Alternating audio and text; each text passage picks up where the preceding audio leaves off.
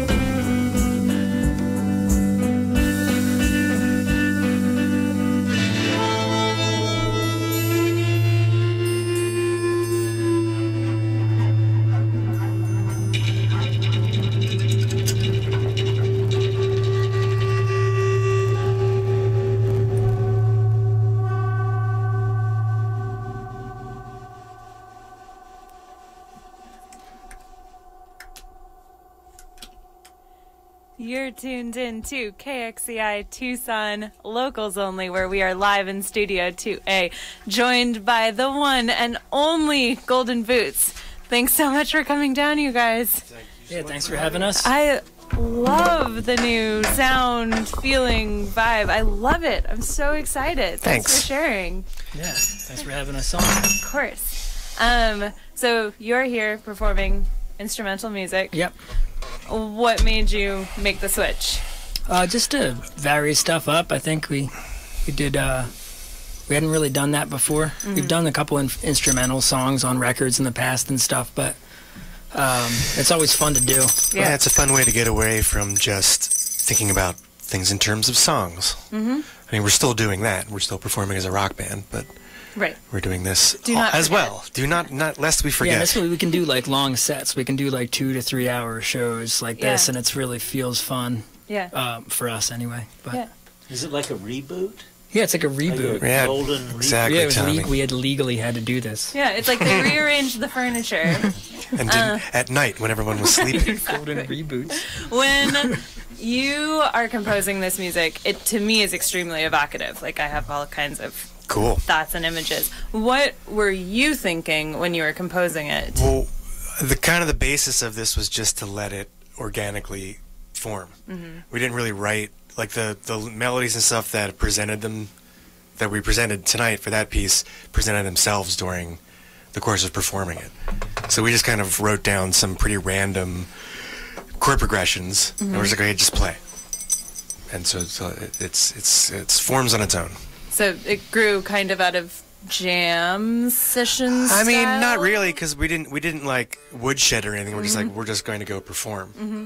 So it's just, just like oh, and something catches. You're like that's great, and then if it's you know, it'll people will start redoing it and or representing it and be like oh that that was a great hook. Let's continue to use that one Yeah. kind of thing. Yeah. So Some of them are long progressions that um, me and Jeff had written, or um, and Sean Rogers had written for a band we have called uh, SRS, which is Spontaneous Response Squadron, and that was like just to be played for the same chords for long periods of time, kind of Yeah. based on Tidy Paws' uh, Ad Nauseum project and stuff. So they've kind of jumped into the boot stuff like this. Yeah. So it all comes together. yeah, It's fantastic. it's a Um, lot of fun. So you guys are preparing for a show on the 23rd at EXO where you're going to play this. Yeah, we'll be doing two hours, or, yeah, two sets of of this all instrumental Yeah. stuff, and we Probably did from that. like eight to ten or something. yeah, from I eight to imagine. ten. We did that there before, and it was a great space for it. It's an incredible space. Yeah, it really fit that Huge room. shout out Yeah. to them. Yeah, Does the whale noises bother anybody? Is everyone? I'm I'm cool with the okay whale with it. I'm, noises. I'm into Yeah. the vibe. I Yeah. like whales. yeah, they're like scary whales. Whales in Studio 2A. Actually, I should mention if you are listening great. to this right now, you can also tune in to Facebook where we are live and to YouTube where we are also live. So come and see, hear the whale noises, see the whales. See the whale noises. Yeah. Like Um, and then you have another show, which is a benefit on January 15th. You want to talk about that? Yeah, we're doing a benefit at Owls Club for the Southern Arizona AIDS Foundation, and um, we're playing with. Uh, there's a couple bands playing with us as well. We're doing a kind of the shorter rock set that night. We're playing with West Oasis and Cool Funeral, and that's. Uh, I forget what uh, what time. Uh, Their shows start at like ten. They're late shows, so Yeah. Yeah. something like that. But that one is a That's a good cause. Yeah, it's for the syringe access program. Is what. Fantastic. Yeah, it's- yeah, at the old funeral home. It's Yeah. perfect. The irony is beautiful. All right. More music, please. Sure, all right. This is a piece that uh, did that uh, was written, but threw into the uh, to this milieu, if I may. Uh, it's called Tongs.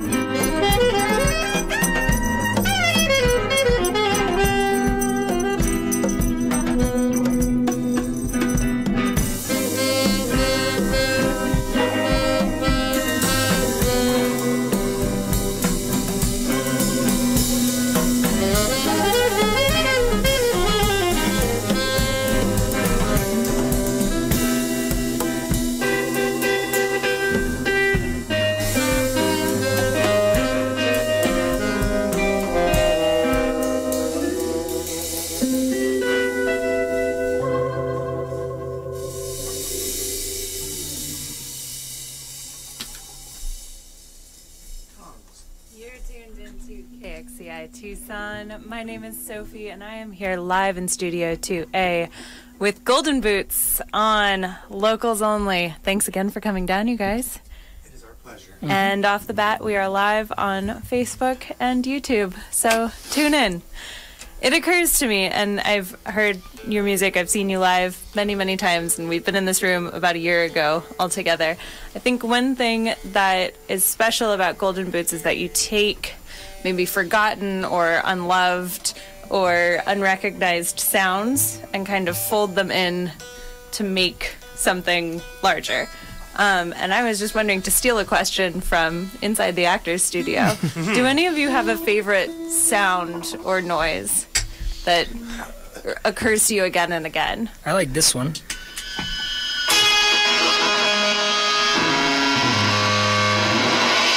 That one's pretty cool. It's kind of like a ninja sword, kind of like that. This one That's too. like. Eh, It's not as cool. and I like that ninja sword. I thought you would never ask. Whale song. Yes. Yeah. Tommy's got us all beat on that one. The whales are back. Yeah. Thank you. We kind of like things that sound a little broken.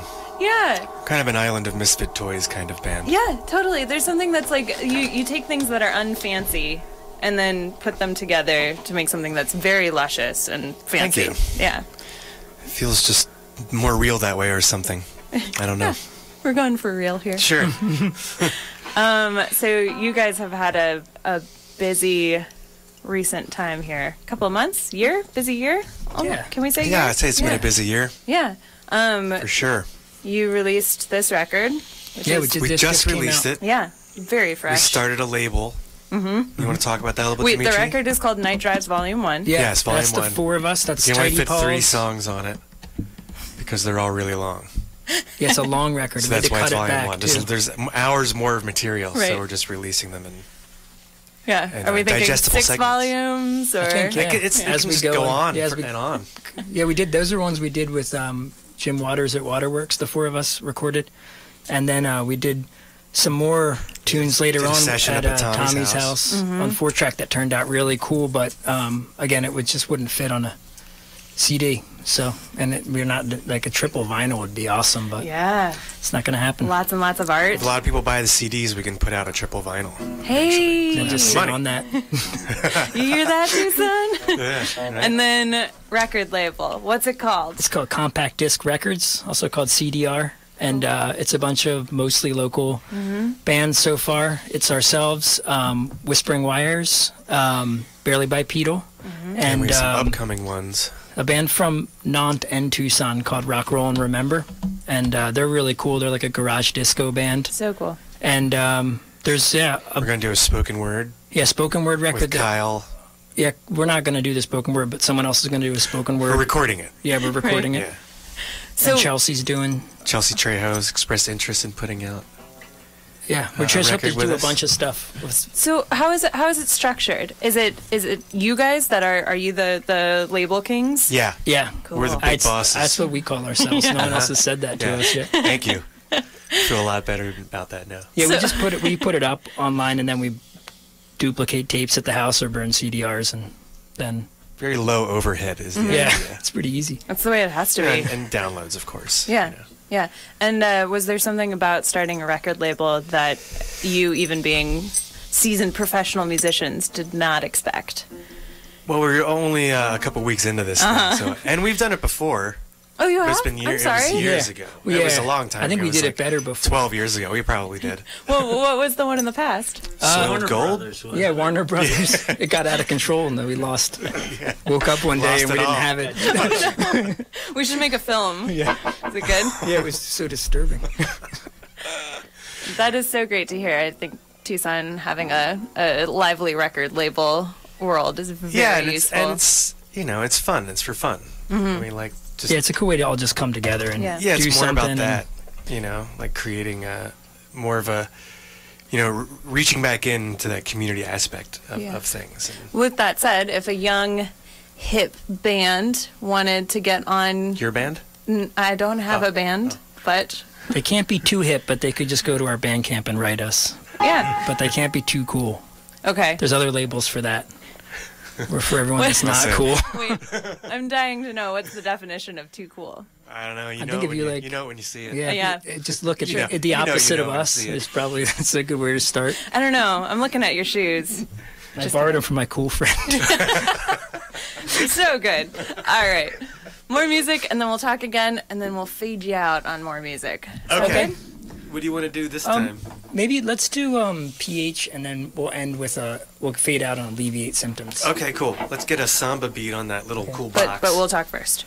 Just Oh, oh, yeah, we'll do More a song music, and we'll talk, talk. again. Yes. Gotcha. Tell me how you. Like I'm hip. this. I want it to be like.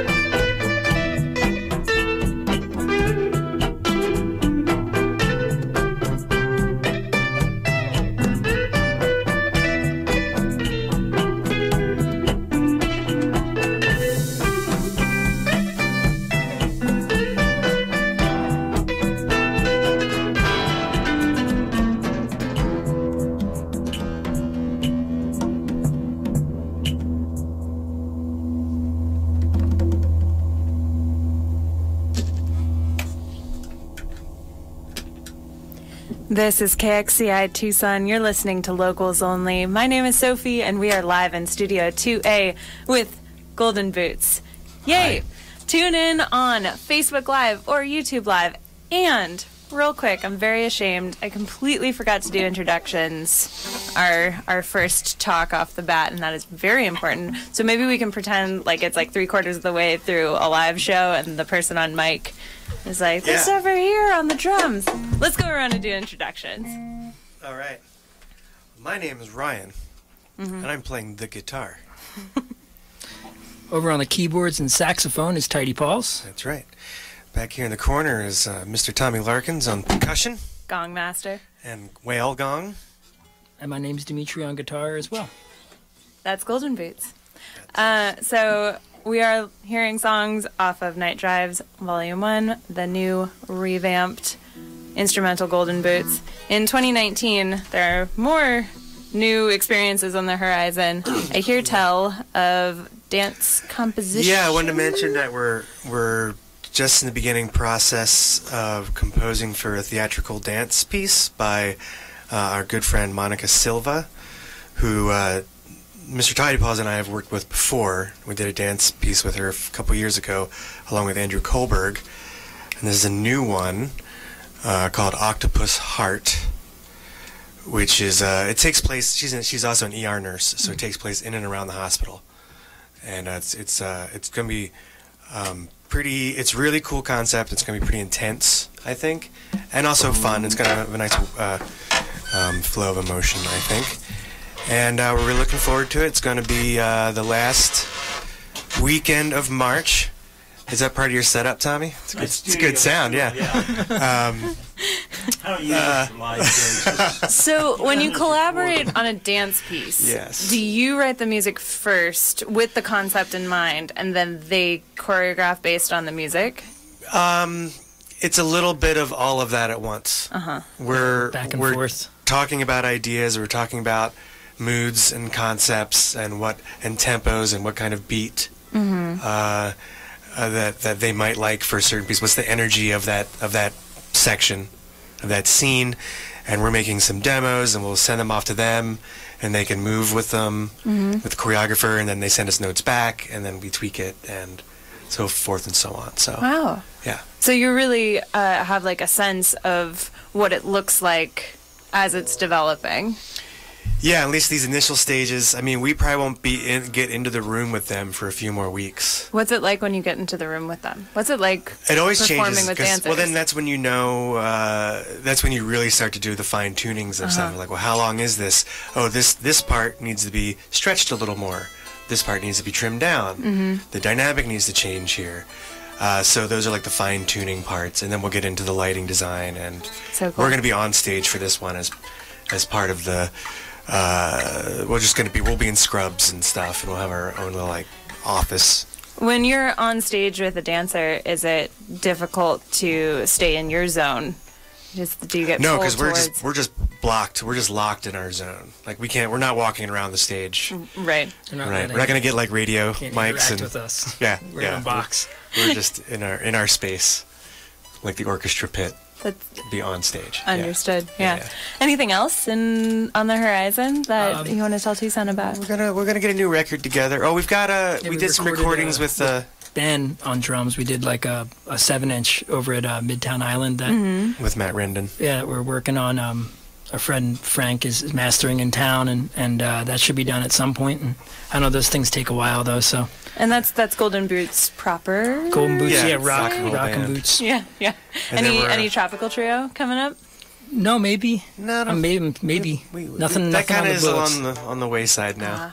Ah. we will, we'll probably revisit it some at some point. And we're right now we're booking uh, to go back to France and Germany in April.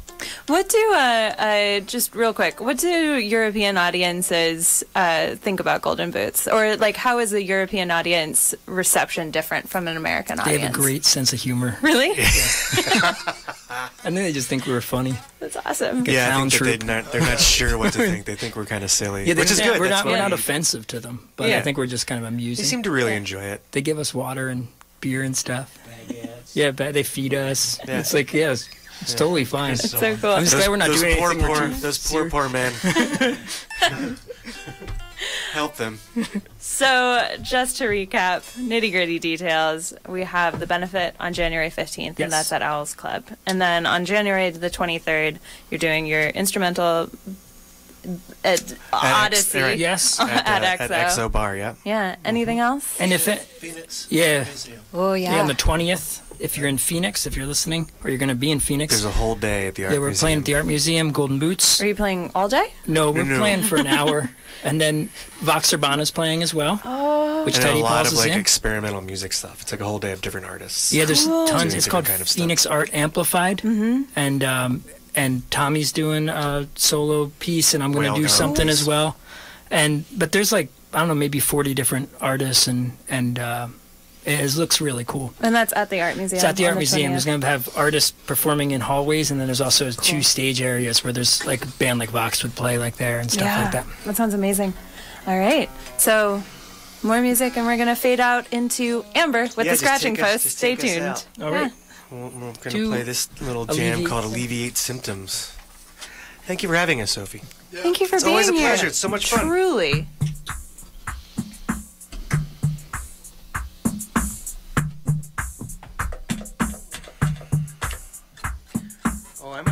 words for this one.